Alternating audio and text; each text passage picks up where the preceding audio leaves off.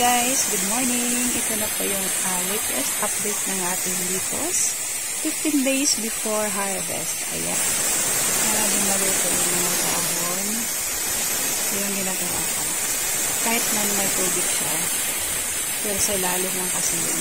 Yung mga dahon kasi mas exposed. Kaya kailangan natin na paliguan. Paliguan. Basain. Yes.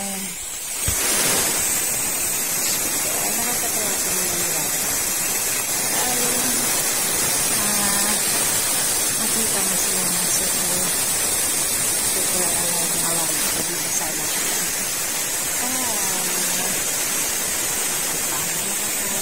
gambar seperti